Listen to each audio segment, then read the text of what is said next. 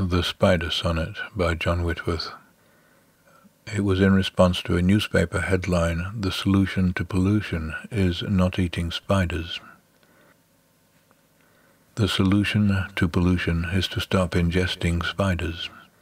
Just say no to the arachnida that copulate inside us, how they pullulate and ovulate, the octopod articulate, auriculate, testiculate, and oft times unguiculate, the narrative of nightmare and the stuff of holy terror. They're the creatures that convince you all your life has been an error. So you're sicker than a parrot, and you wish that you were dead.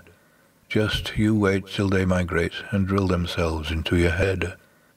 Creepy crawly, creepy crawly, with a subtle sideways motion, some detestable detritus from the bottom of the ocean, Something feral, fanged and furry, with a flush of nasty habits.